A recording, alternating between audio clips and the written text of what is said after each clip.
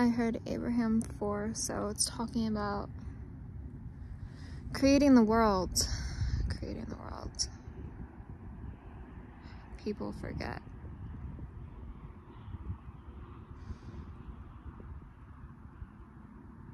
I'm hearing about character and morals. People forget that there are eyes upon them.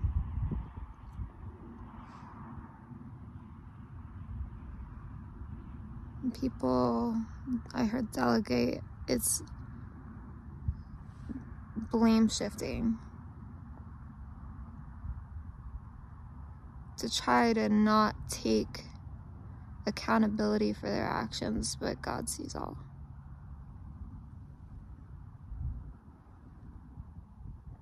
One of the things that I was taught is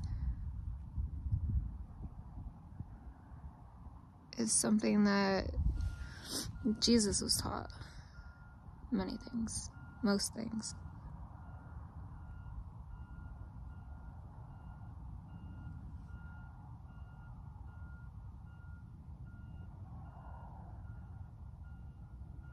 I heard eyes in the sky look upon me. That's calling angels to protect me.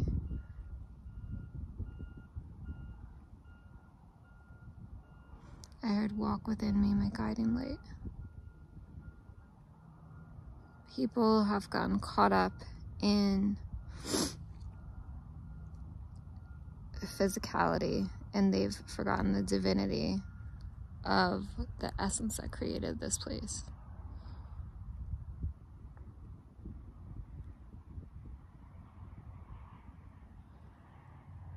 Evil doing doesn't go, go unseen. It hasn't gone unseen.